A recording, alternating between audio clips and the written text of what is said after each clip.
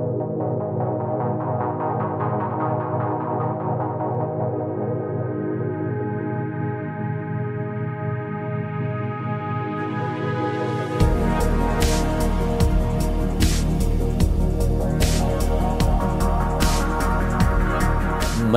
of people are unaware that iron is important for brain growth in children. It also has a protective effect against minimizing infection in children.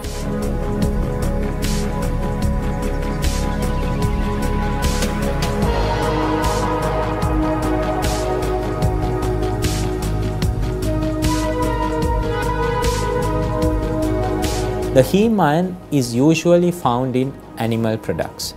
Heme iron is rich in red meat, it is present in fish, dry fish, it is present in sprats and eggs and also in milk and more so if the milk is fortified.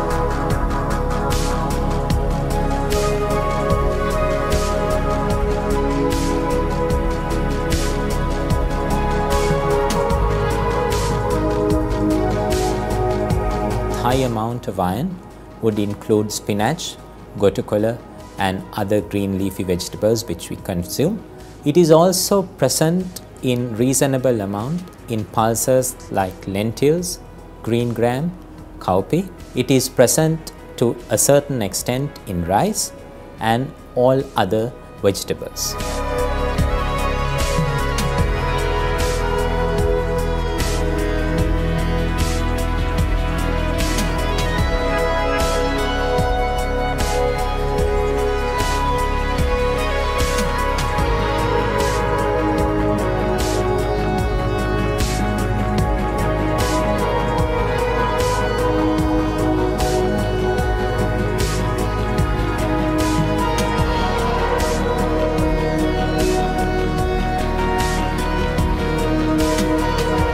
Becomes important when a child is being complementary fed. The child should be given food containing iron in reasonable proportions so that the child will eventually get a balanced diet which will negate the possibility of the child developing iron deficiency.